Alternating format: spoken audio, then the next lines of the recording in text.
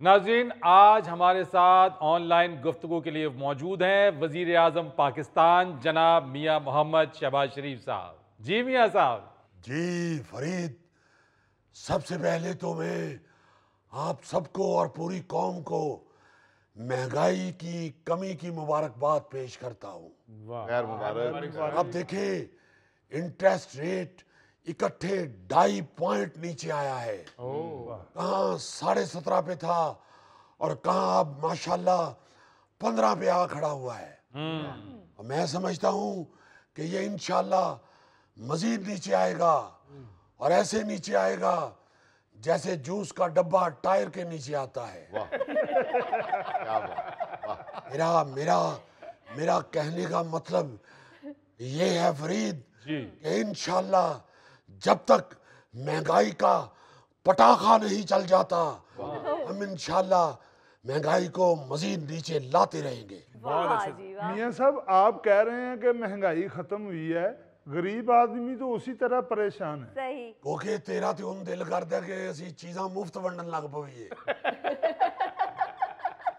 इन आदत पई है लंगर वाली लाइन दी।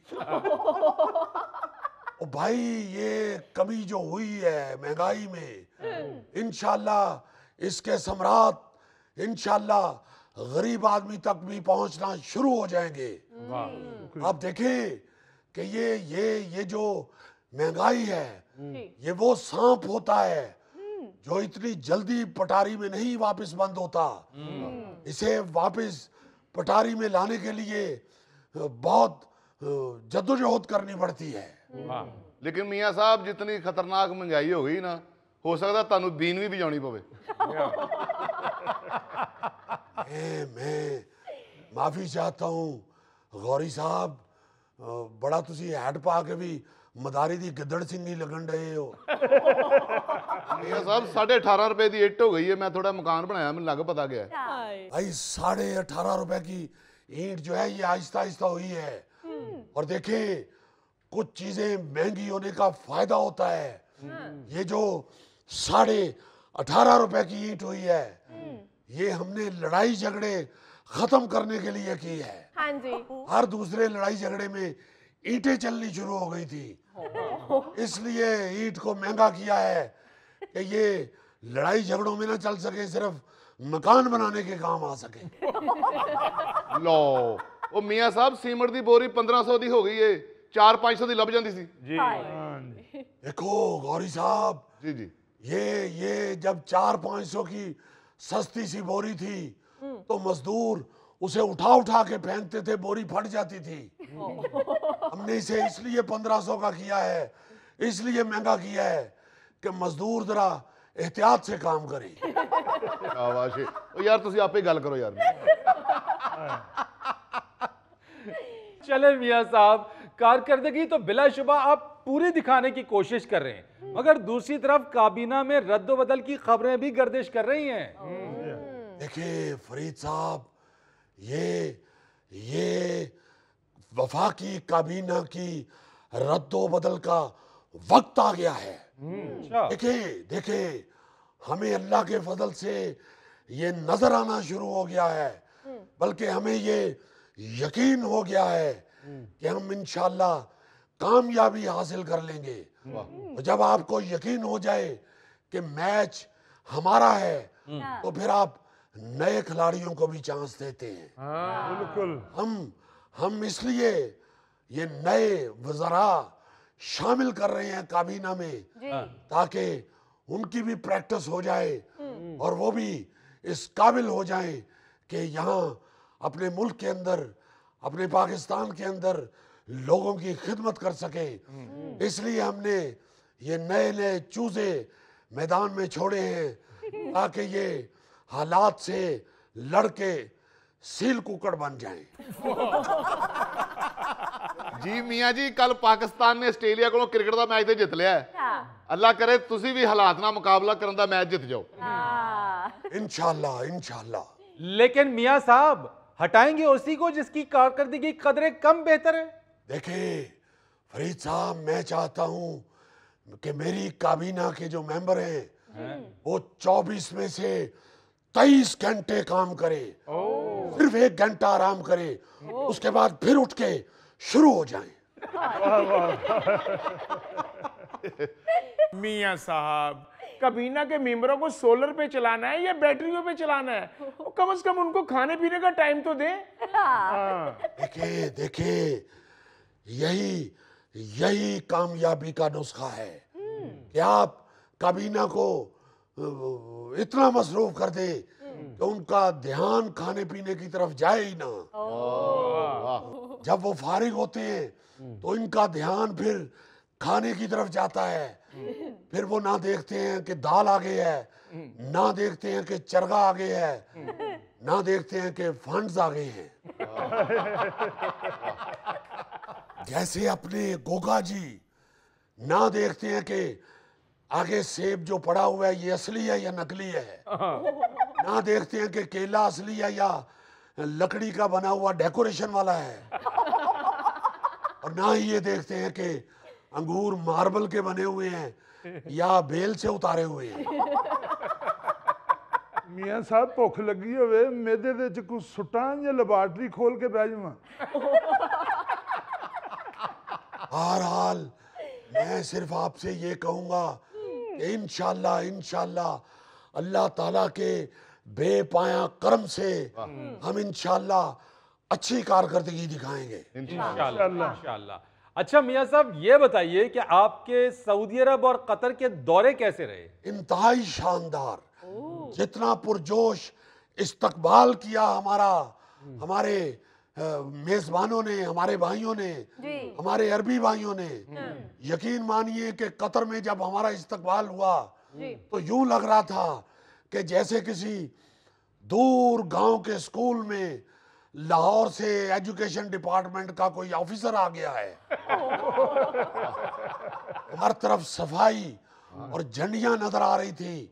और और और जगह जगह खुश आमदीद लिखा हुआ था उन्होंने। इसका मतलब है मियाँ साहब आपके दौरे का कुछ फ़ायदा होगा। इनशाला फरीद इंशाल्लाह। आप देखिएगा कि कुछ अरसा में आप टेलीविज़न पे खबरें सुनेंगे कि रियाल और धर्म की मूसलाधार बारिश से नदी नाले रियाल और धर्म से भर गए। और इसके साथ साथ कहीं कहीं दीनार की जालाबारी भी हुई। नाजरीन, इस मूसलाधार बारिश की वजह से हुकूमत पाकिस्तान ने इस्लामाबाद में तुगयानी के खतरे का सायरन भी बजा दिया। मियाँ साहब जरा हाथ ओला रखे। मैं मैं असल में असल में फरीद साहब मैं आपको ये बावर करवाना चाहता हूँ कि हमारा दौरा इंतहाई कामयाब रहा है। अल्लाह करे अल्लाह करे। चले देखते हैं कि कितना कामयाब रहा है। इंशाल्लाह फरीद हमने हमने मज़बूत इरादे के साथ पाकिस्तान की खिदमत शुरू की है। बल्कि मैं यूँ कहूँगा कि हमने अपनी आवाम की खिदमत के लिए कमर कस ली है। और इतनी कस ली है इतनी कस ली है कि यहाँ बैठने से पहले भी मैंने अपनी बेल्ट दो मोरियाँ ढीली की है। बल्कि यहाँ ही नहीं मैं जहाँ भी जाके बैठता हूँ मैं पहले मुँह उधर करके अपनी कमर की बेल्ट ढीली करता हूँ फिर बैठता हूँ। बल्कि आप यकीन कीजिए कतर में एक मीटिंग में बैठने से पहले मैंने बेल्ट ढीली करने के लिए जब मुँह इधर किया तो मुझे अ, अरबियों ने पूछा मियाँ साहब की गल बाथरूम में जाना है? तो मैंने उनसे कहा नहीं नहीं कोई ऐसी बात नहीं। तो मैं बैठ गया। तो इंशाल्लाह इंशाल्लाह आप देखिएगा हमने जिस तरह कमर कस ली है कुछ ना कुछ अच्छा रिजल्ट सामने आएगा वाह जी वाह, इंशाल्लाह ਮੀਆਂ ਸਾਹਿਬ ਤੁਹਾਡੀ ਇਹ ਬੈਲਟ ਦੀਆਂ ਦੋ ਮੋਰੀਆਂ ਤੋਂ ਮੈਨੂੰ ਯਾਦ ਹੈ ਮੈਂ 40 ਸਾਲ ਪਹਿਲੇ ਤੁਹਾਨੂੰ ਦੋ ਮੋਰੀਆਂ ਪੁਲ ਥੱਲੇ ਲੰਘਦਿਆਂ ਵੇਖਿਆ ਸੀ ਪਹਿਲੀ ਵਾਰ गौरी साहब मैं वहां पे सर्वे के लिए गया हुआ था मैं वहां देखने गया था कि अवाम को किस कदर मुश्किल का सामना करना पड़ता है। वहाँ जो फ्लाईओवर बना है वो मैं 40 साल पहले देख के आया था हम्म। और मैंने 40 साल पहले सोच लिया था कि इन इकतदार में आके यहाँ मैं फ्लाई ओवर बनाऊँगा चालीस साल पहले तो तुम सियासत नहीं सो। वो वो उस वक्त बड़े मियाँ साहब घर में बैठ के सियासत के बारे में सोच रहे थे। हाँ। और मैं सड़कों पे फिर के कंस्ट्रक्शन के बारे में सोच रहा था। वाह वाह वाह जी भुट्टो। और मैं बनवाया सी फ्लाई ओवर। बहुत शुक्रिया मियाँ साहब बहुत शुक्रिया। मगर ये तो बताइए कि ट्रंप के इलेक्शन जीतने पर आपके वजरा हवास बाख्ता क्यों नज़र आ रहे हैं? हाँ।, हाँ। बिल्कुल नहीं हर किस नहीं। देखे हम खुश आमदीद कहते हैं बल्कि मुबारकबाद देते हैं डोनाल्ड ट्रंप साहब को। बल्कि मैंने पैगाम भेजा उनको मुबारकबाद का। अच्छा। हमें कोई ऐसा कोई कोई खतरा नहीं है। हम समझते हैं कि डोनाल्ड ट्रंप की कामयाबी असल में मुस्लिम लीग नून की कामयाबी है। आपको मैं यहाँ बताता चलूँ कि डोनाल्ड ट्रंप का इंतखाबी निशान असल में शेर था। तो ये तो उन्होंने इलेक्शन से कुछ अरसा पहले शेर को सूंड लगवा ली है। क्योंकि शेर शेर गोश्त खाता है और ट्रंप साहब को दूर दूर जलसे करने के लिए जाना था और गोश्त रास्ते में बासी हो जाता है। उनको किसी ने मशवरा दिया कि आप अपने शेर को सूंड लगवा लें और साथ गन्ने ले जाएँ गन्ने बासी नहीं होते। आपको याद होगा कि अमेरिका में जब इलेक्शन मुहिम शुरू हुई थी तो अमेरिकन अवाम एक ही नारा लगा रही थी शेर एक बारी फेर। बल्कि बल्कि आप यकीन माने कि अमेरिकन तो डोनाल्ड ट्रंप को मियाँ डोनाल्ड ट्रंप कहना शुरू हो गए थे। इसलिए मैं समझता हूँ कि डोनाल्ड ट्रंप साहब की कामयाबी हमारी कामयाबी है। हमें उस पर बेपनाह खुशी है। इसलिए हम इंशाल्लाह कोशिश करेंगे कि हमें एक साथ काम करके खुशी महसूस हो। वैसे मियाँ साहब पीटीआई वाले भी ट्रंप की कामयाबी पर बहुत खुश हैं। फरीद साहब उन्हें छोड़े आप उन्हें छोड़े। ये क्या क्या क्या बात कर रहे हैं आप? क्या बात कर रहे हैं? आप ये देखें जरा गौर करें कि डोनाल्ड ट्रंप वही कर रहे हैं जो हम कर रहे हैं। हाँ हाँ आप देखें आप देखें हमने इधर मोहसन नकवी की तारीफें की हैं। उन्होंने उधर एल्वन मस्क की तारीफें शुरू कर दी इसलिए हमारे ख्यालात भी मिलते जुलते हैं। मियाँ साहब कहा एलन मस्क? और कहा मोहसिन नकवी साहब सर। हाँ। जी एल्बन वॉक्स अमेरिका में है हाँ। और मोहसिन नकवी पाकिस्तान में है। क्या बात। आप क्या कह रहे हैं? कहाँ वो और कहाँ वो? आपको बताया वो कहाँ है और वो कहाँ है। वैसे सर आपने तो मोहसिन नकवी साहब की तारीफों के पुल ही बाँध दिए हैं। फरीद साहब पुल बांधने बनते थे हम्म। क्योंकि ज़्यादा से ज़्यादा स्पीड में पुल बनाने का रिकॉर्ड आपके इस खादम का था। हम्म। मगर मोहसन नकवी साहब ने मेरा रिकॉर्ड भी तोड़ दिया है मुझे तो पुराने लोगों ने बताया है कि जितनी जल्दी मोहसन नकवी साहब ने पुल बनाया है हाँ। उतनी जल्दी तो नूर जहान का गाना सानू नहर वाले पुल ते बुला के भी रिकॉर्ड नहीं हुआ था। वाह वाह मियाँ साहब वाह वाह।